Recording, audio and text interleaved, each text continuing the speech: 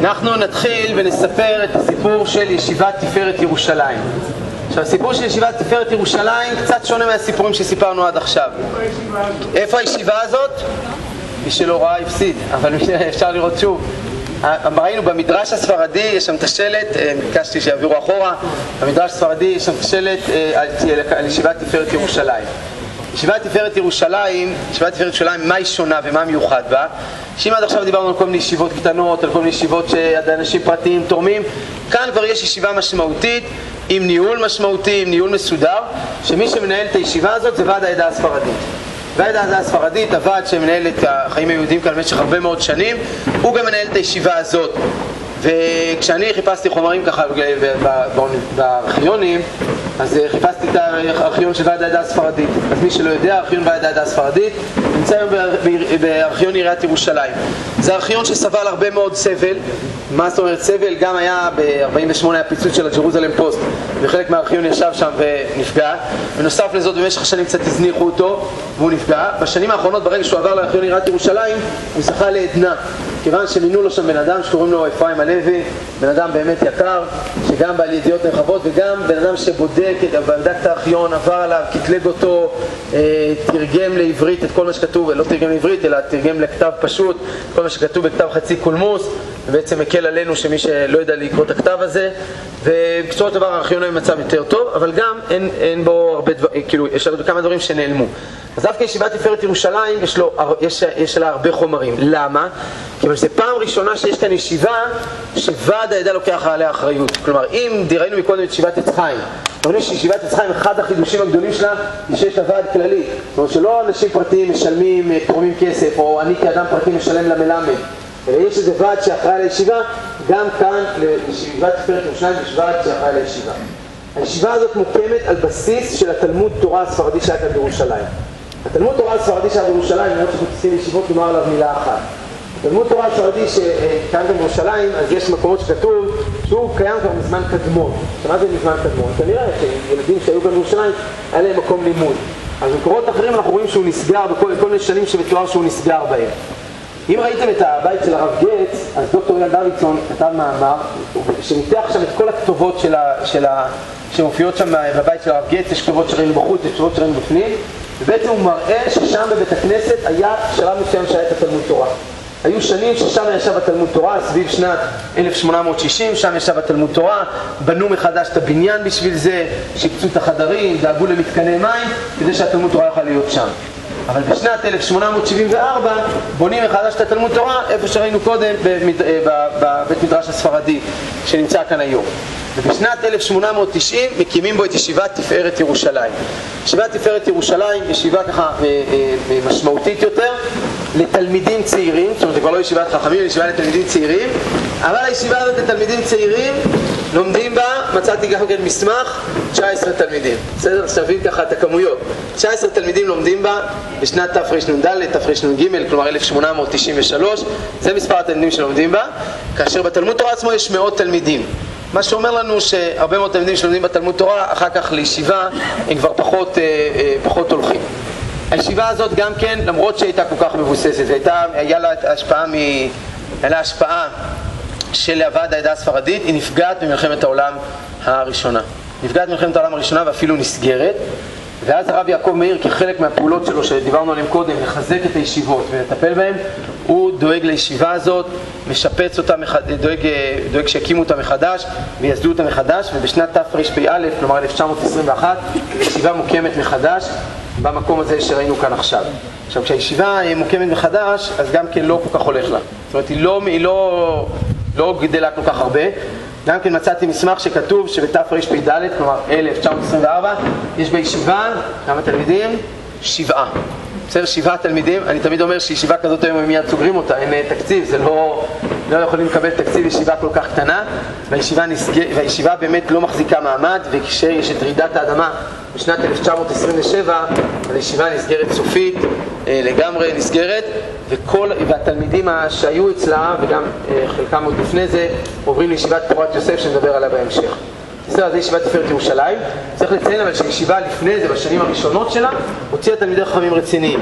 שאחד מהם למשל זה הרב בן ציון מאיר חי עוזיאל, מי שלימים יהיה הרב, הרב הראשי לישראל, יחליף את הרב יעקב מאיר. בסדר? אז הוא ככה יצא מאותה ישיבה, זו באמת ישיבה משמעותית. אז זו ישיבת תפארת ירושלים, אה, חשוב להכיר אותה, אני אומר, דיברנו עליה בקצרה, אבל באמת זאת ישיבה משמעותית שהייתה כאן. ישיבה נוספת, שנדבר עליה עכשיו, זה ישיבת מקובלים, ישיבת שער השמיים. בסדר, ישיבת שער השמיים. אם דיברנו... אשכנזי. מה? נכון, היא אשכנזית. הקשבתי לך. אה, בסדר. מבחן זה בסוף, לא עכשיו. בכל מקרה, ישיבת שער השמיים היא ישיבה, ישיבה באמת אשכנזית, ו, ו, והישיבה קמה בגלל שיש כמה אנשים אה, אה, אשכנזים שרוצים להתוות דרך, חד, אה, דרך חדשה בלימוד הקבלה, ולכן הם מקימים את הישיבה הזאת. והחידוש כאן, של הישיבה הזאת, זה שאשכנזים לא מקימים ישיבה, ישיבה קבלית בדרכו של הגר"א, למשל, או ישיבה קבלית בדרכם של מקובלי אשכנז, אלא ישיבה קבלית בדרכו של הרשש והארי. בסדר, לוקחים ישיבה של אשכנזים שהולכת בדרך של מקובלים בעדות המזרח. בראש, בראש הישיבה עומד רבי שמעון הורוביץ מלידה, וביחד איתו רבי חיים יהודה, ליב, אה, יהודה אוירבך, שהוא מהמשפחה כמובן של שלמה זלמן אוירבך, שדווקא אה, הרב אוירבך הוא עסק יותר בצד הנגלה, בצד של ההלכה, אבל, אה, והוא היה בעיקר ממונה גם על החלק הזה בישיבה. והוא כותב על הישיבה, הוא כותב זכות אבותיי, זכות אבותיי עמדה לי לייסד את הישיבה הקדושה שער השמיים ללימוד חוכמת האמת אשר בעוונותינו הרבים נזנחה כמעט לגמרי בדורנו דור יתום ואני עודני אז צעיר לימים פחות מבעונשין. וצירפתי איתי את המקובל המפורסם מרא דרזי, אה, מורנו הרב רבי שמעון צבי הורוביץ שליטא ומניתי אותו לראש מטיבתא בישיבה הקדושה ללמוד חוכמות האמת ומיום ליום הלכו והתרבו התלמידים, תלמידי חכמים יראים ושלמים מגדולי ישראל והרבה מהם גדלו והצליחו וגם עשו פרי, בלמו הקודש ומהם שנכנסו לתוך החוכמה העליונה בשער הפנימי, רזי תורה וסתריה בכוונות התפילה על פי קבלת הארי ז"ל והתחילו בעבודה הזאת תפילה בסידור הקדוש של הרש"ש זיכרונו יגן עלינו. כשהישיבה הזאת מוקמת, כשהישיבה הזאת מוקמת, אז uh, מה שמעניין, שעד אז לא היה סידור עם כוונות הארי. אז איך היו מתפללים, מי שלא הכיר, למשל בישיבת בית אל? היה חזן שהוא היה יודע בעל פה את כל הדברים, הוא היה צריך להיות מאוד מאוד בקיא, תחשבו לי לזכור את כל הכוונות ואת כל הדברים, הוא היה מתפעל בקול ואומר את הכוונות, וכולם מתפעלים אחריו. ולא היה, לא היה סידור. כאשר הוקמה הישיבה שער השמיים, אז הישיבה הזאת מדפיסה את סידור הרשש, שאחר כך גם בבית אל משתמשים בו אה, וכותבים בו. והרב, אה, ראש הישיבה, רבי שמעון צבי הורוביץ מלידה, אז הוא, הוא גדל אצל אשכנזים, הוא למד גם בעץ חיים, ושם הוא ניסה גם כן להכניס את הקבלה, אבל לא כל כך נתנו לו. זאת אומרת, זה כמו היום, כי יש כל מיני ישיבות אה, היום, שאנשים מנסים להכניס מדי פעם קבלה, אז עוצרים אותם ולא נותנים להם. הוא ניסה, עשה כל מיני צעדים גם ביצחיים להכניס את הקבלה, זה לא כל כך הלך, עד שבסופו של דבר הם מקימים את אה, ישיבת שער השמיים. הישיבה הולכת ומתפתחת מאוד. זו ישיבה שמגיעה למצב שבתרע"ג, כלומר 1913, כבר יש 113 תלמידים, שחלק גדול מהם עסוק בקבלה. בתרפ"ב אנחנו שומעים על 100 מקובלים. 100 מקובלים זה כמות מאוד מאוד גדולה. אחד הלומדים בישיבה הזאת זה כמובן זה הרב חרל"פ, הרב חרל"פ שוודאי מכירים אותו. אמ, וזאת הישיבה. עכשיו, כמה דברים על הישיבה. הישיבה, היא, המטרה שלה המרכזית היה להכשיר את דור המקובלים הבא, כאילו להכשיר את האנשים. ולכן הלימוד שם הוא לימוד קבלה לאורך כל היום, כולל שיש, כיתות של מתחילים וכיתות של מתקדמים יותר בקבלה. הם קובעים אנשים מיוחדים שילמדו קבלה בטהרה יום ולילה, ומתפללים על פי הכוונות. הם קובעים משמרות ללימוד בלילה, לתיקון חצות ולתפילה.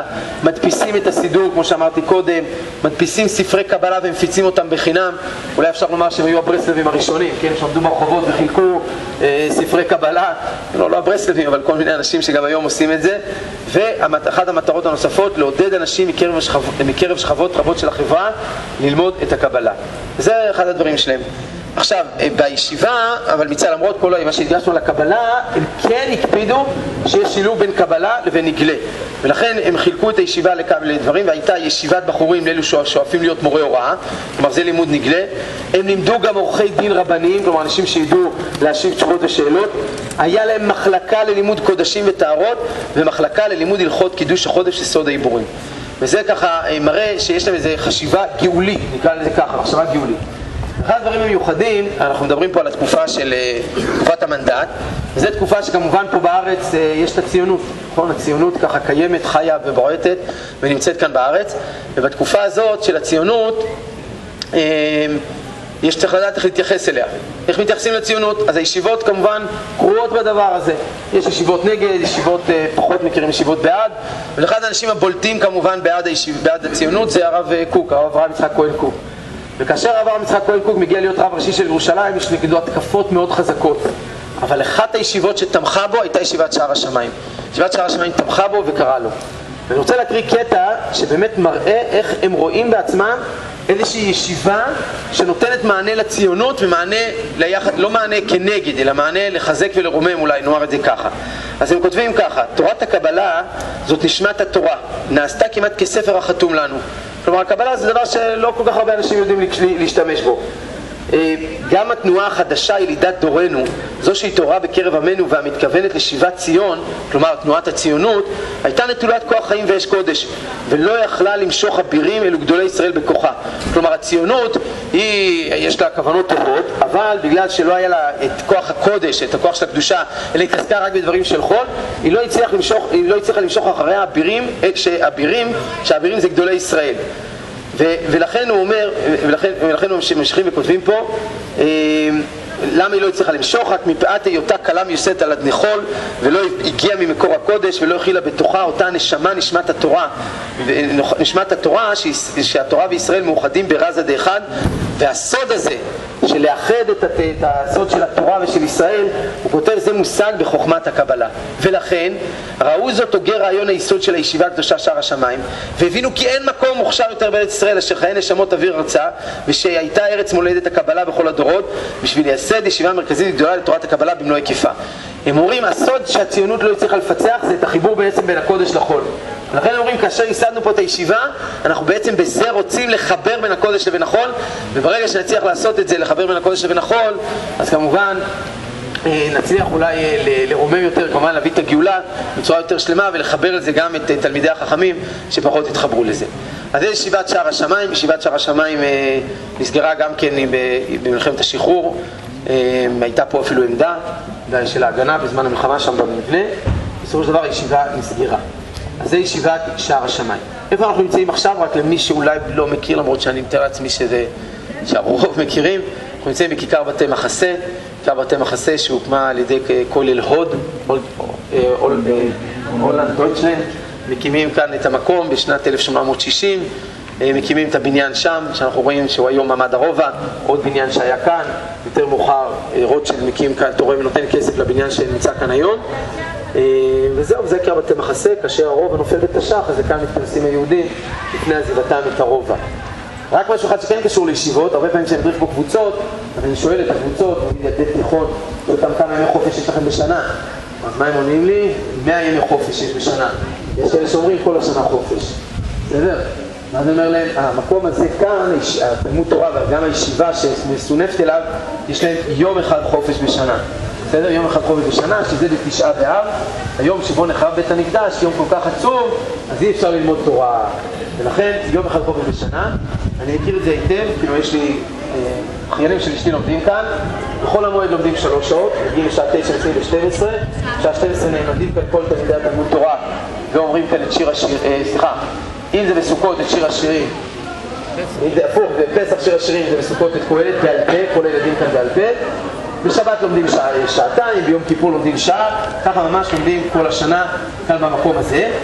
סתם זה מעניין, היום כשאנחנו מדברים על ישיבות, אז כולנו מכירים, אה, כולנו מכירים, אבל יודעים, יש בין הזמנים. יש בין הזמנים. הרבה פעמים אתה רואה הציבור שלא מכיר את עולם הישיבות, הוא לא מבין איך מה זה החרדים, פתאום כולם נמצאים בפארקים. בתקופות מסוימות. אבל זה תקופות של בין הזמנים, שזה היום, אנחנו יודעים את זה כל חודש ניסן, מיום כיפור עד סוף חודש תשרי, ומאחרי תשעה באב, שלושה שבועות עד חודש אלול. זה החופשים שיש היום בישיבות, נוסף בשנים האחרונות חופש דרבנן בחנוכה, לא החופש ככה שלא, שהוסיפו אותו. בישיבות של פעם, בישיבות של פעם, אז מצאנו, מצאנו מקום אחד שבו מוזכר החופש, של ישיבה אחת, שם מוזכר חופש גם כן, מ- מיום כיפור עד אחרי סוכות, בפסח, שבוע אחד לפני פסח, ושיוכלו באמת לעזור, וכולל חול המועד, ו... וזהו, פחות או יותר, זה החופשים, עוד יום פה, יום שם, אבל סך הכל רוב השנה יש למידה, וכמובן עוקבים, אם אתה לא תגיע בימי הלמידה, יורידו לך מהתקציב, יורידו לך מהתקציב שלך, ולכן כדאי מאוד להגיע ללמוד. בסדר? אז זה ככה דרך התלמוד תורה זילברמן שנמצא כאן, הגענו לימי חופש בישיבות. אנחנו הולכים עכשיו אל הישיבה, אל הישיבה, ישיבה מאוד מאוד חשובה, ישיבת פורת יוסף. בסדר? איפה זה נמצא? ליד המנורה של הכותל, שם אנחנו נתכנס, המנורת הזהב שנמצאת שם. אנחנו בדרך ביקש עמית שנעבור ליד בית כנסת תפארת ישראל, המקום שעכשיו משקמים אותו.